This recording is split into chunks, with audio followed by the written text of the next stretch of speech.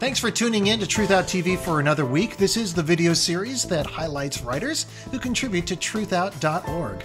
I'm your host, Ted Asregadoo, and with me today is Laura Flanders. She is the host and creator of Grit TV.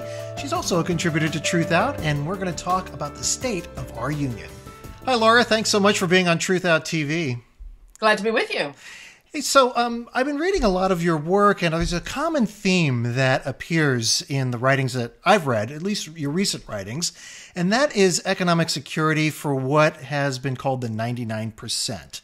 My question is why do you think this theme of economic security, reducing economic inequality, doesn't resonate too much with the American public. Or as I remember Bill Maher once saying on a show, that the reason why it doesn't resonate is because there's so many people out there that think that that's kind of white noise. And you know what? They think I'm going to make it to the 1% one day. Well, you know, I don't know if you're really right. I mean, Truthout was one of the places that covered the entire Occupy movement that showed a tremendous interest in this question of uh, in in economic inequality. I think that we actually saw an election where people got a sense of inequality when it came to the effort of the right to suppress the vote, and people showed up to try to take back their right to vote. So I, am I'm, I'm not buying it that people um, are not uh, resonating with this notion of of inequality. I think though that you're right that America isn't a country that believes that everything should be shared equally. It is, however, a country that has been committed forever to um, challenging the entrenchment of power. And I think that what we're seeing really resonate in this country right now is the sense that people don't have the breaks that they've been promised by you know American ideology, the chance to get out of where they are to somewhere else. So, do they believe in you know equality? Somebody said to me today, um, you know, if we divided up the resources of, the, of this country, everybody would get two hundred thousand dollars. You know, sounds pretty good. Yeah. You get a hundred thousand and work half as long. Uh, that's not the sort of equality that I think Americans are ever going to buy into. But will they buy into the sense of, wait a minute, in 30 years, our wages haven't really risen. We have 400 families that are essentially owning the wealth of 180 million of the rest of us. Is it right that I can work for 10 years at the same factory and start at a wage of $5 an hour and end at a wage of 10, be sent home with a ice cream cake, as a member of my family was recently. Um, no, I, and I think what you're seeing in the streets is people saying, um, that's not right. My access to a break, to a fair chance to make something of a future, and my kids' access to that kind of fair chance um, is part of our ideology, it's part of our expectation. Uh, we're not going to let that go without a fight. No, I, I, I think what I was getting at was those that voted for Mitt Romney, and I can't speak for everyone that voted for Mitt Romney because certainly I don't know them, but I think that when he gave that speech that really just said, you know, there is a whole group of people out there that are a nation of takers. And I think that that kind of resonated with a good chunk of the voting population. Certainly, a majority of the people that voted in this last election uh, voted in a way that would promote more economic equality and lessen that gap. So um, that, and that's what I was speaking to. And I think that when you when Bill Maher brings up something like, "Well, you know, I'm going to give you in that one percent," I think he was speaking to the people that kind of identified with what Mitt Romney was saying during yeah, the election. Listen to yourself. I mean, here you have an election that showed that actually, um, given you know in imperfect options, people did vote for the candidate who was um, speaking up for a, a, fair break for everybody. People did vote for the right to vote even when their voting rights were being challenged. People did show up in an election that people said, you're never going to get the kind of turnout you did four years ago. You got a bigger turnout this season. So I'm just questioning your premise. It didn't resonate. It seems to me the other guy's argument didn't resonate. Um, this idea that we actually do have a commitment to one another in a society beyond dog eat dog, uh, that is the one that lost last November. Perhaps I listened to too much talk radio. Maybe that's part of my problem. Um, but it, it does get to something else that you you had brought up in your writing, which was, and this gets to our nation politically, socially, that there is there's some real divisions here, and and you had even uh, commented that the divide in this country, both politically and even socially in many ways, is as bad as it was during the Civil War. Yeah, you've got a lot of divisions, and I thought about it in the light of the president giving his State of the Union address. You know, in this predominantly middle and working class country, you've got a Congress that's almost entirely millionaires and billionaires. And there was a study not so long ago by a professor at Duke who pointed out that today's congressmen, on average, will have worked no more than 1.5% of their entire work life doing any kind of manual labor. So, any kind of taste of working class life, the life of 90 million people in this country, the majority of our workforce is entirely foreign to the people that we call our representative government. They're not very representative. So, in that way, we've got a divided nation. Geographically, we're divided too. Uh, much as we want to say, as, as Barack Obama did back then at the DNC, that we don't have a red and blue country, we have one America. We don't. We have a country that is divided north versus south when it comes to the electoral college in a way that's very reminiscent, barely changed since Civil War years. Um, and I, I, think that's something to be concerned about. What do Democrats just write off um, uh, the South? Do progressives decide, well, this is as good as it's ever going to get being a Democrat? I think we're in a period of real um, dissatisfaction with the way things are, a, a, desire for change, more change than we're going to get in this administration. Um, and uh, there's some real tensions that I think we have to address head on. You speak of war, and, and uh, one of the wars that is winding down is the war in Afghanistan. It was announced uh, as of this recording that 34,000 troops should be home within a year's time. Within that story, uh, there was a another story that was was in the Los Angeles Times and in the San Francisco Chronicle and many other papers, and it was about the shooter, the one that uh, that ultimately killed Osama bin Laden, and his personal life after after this mission. His marriage ended. He's had thoughts of suicide. He can't seem to hold a job.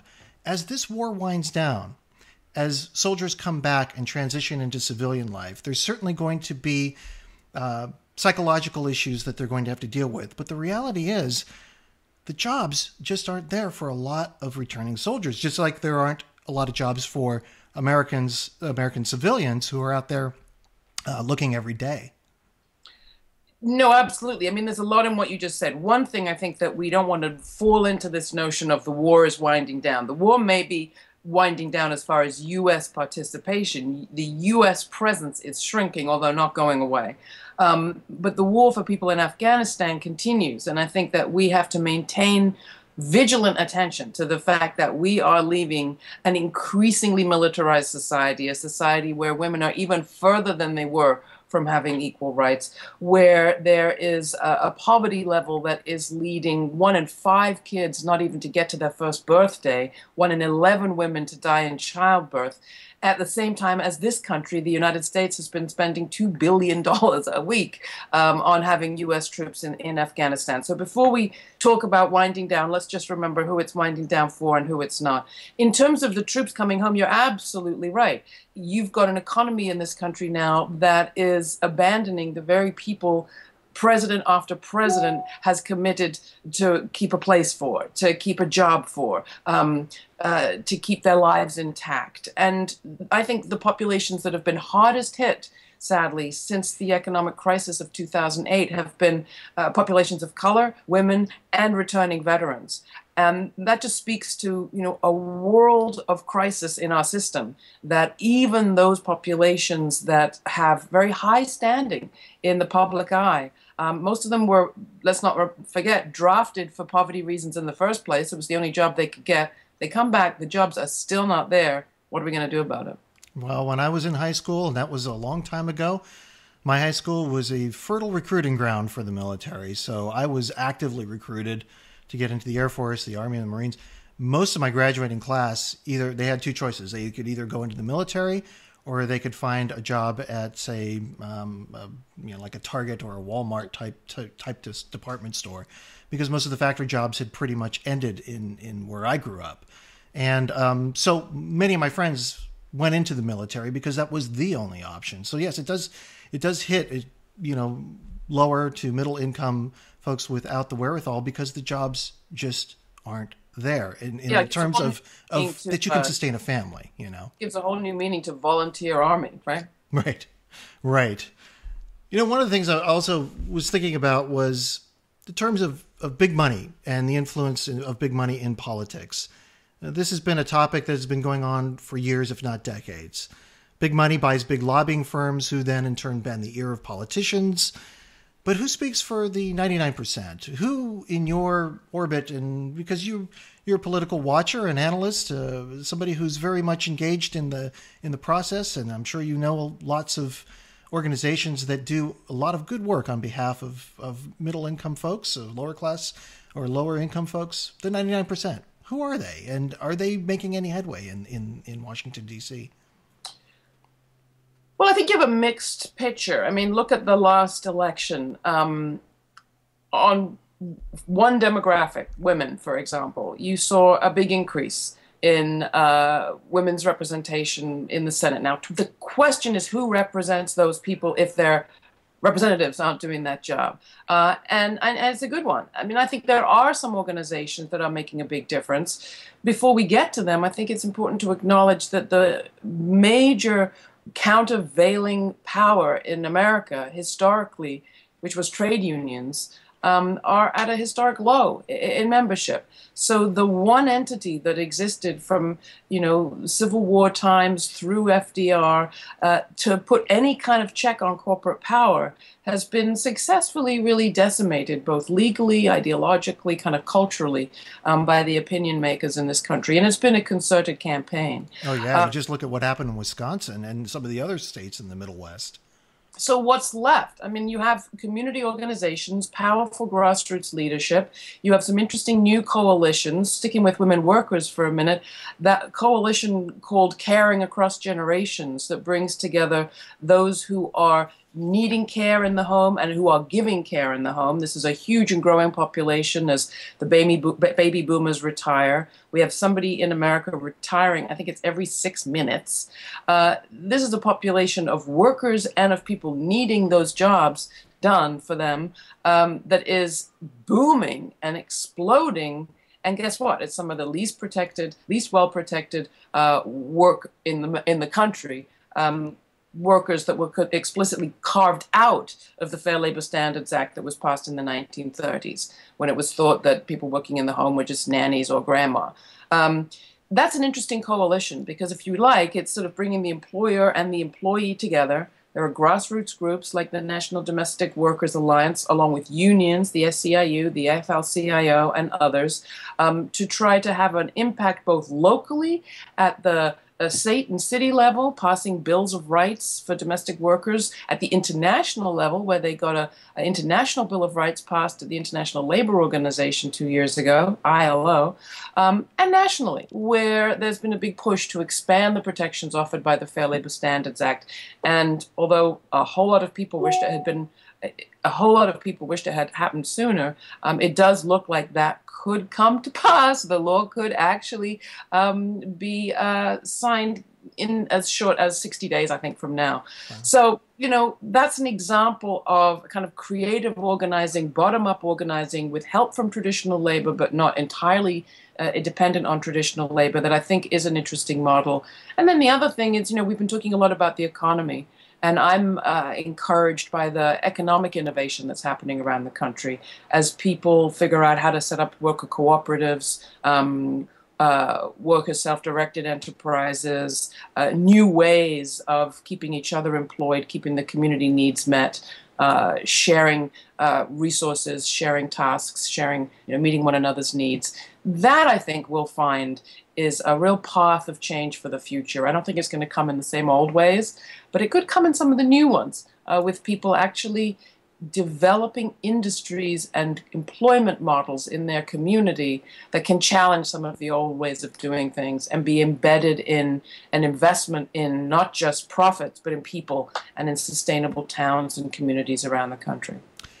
So, as you look out in this nation of ours and you uh, had to assess the state of our union, what would you say it is at this point? I mean, well, I think you have to say it's rotten. The state of our union is pretty damn rotten. I mean, on the one hand, yes, we had um, more people able to vote than we were afraid we were going to be able to vote last November, with a you know massive amount of corporate money and anonymous money poured into a campaign uh, of the the Republican candidate. Democrat managed to beat him hands down.